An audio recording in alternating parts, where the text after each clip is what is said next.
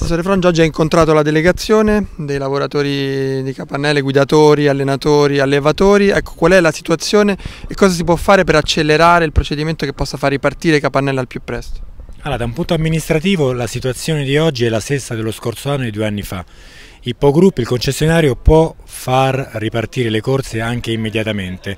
Quindi esiste una soluzione immediata, già esiste e sta in capo a Ippogroup decidere se far ripartire o meno le corse. Noi siamo in contatto continuo con il Ministero, con il quale appunto siamo allineati eh, proprio per favorire la ripresa delle corse.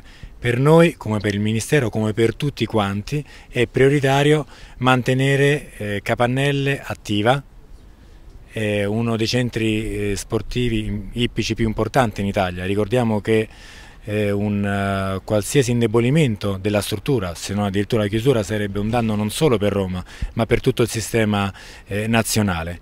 Quindi da questo punto di vista l'obiettivo è convergente.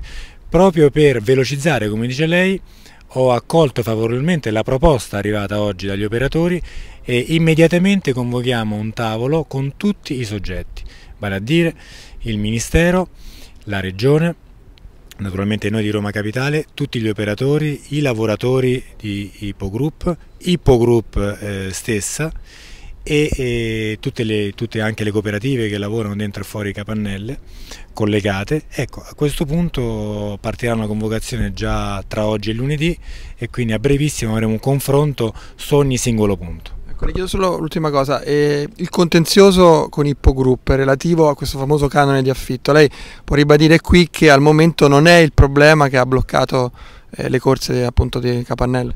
Vi è ormai da anni un contenzioso tra Ippo Group e Roma Capitale, c'è stato un ricorso al TAR e il, nel merito si andrà nel 2020, quello è un contenzioso tra i due. Per quanto riguarda invece l'importo della, della concessione il eh, Roma Capitale ha ritirato in autotutela un atto che richiedeva i famosi 4 milioni di euro.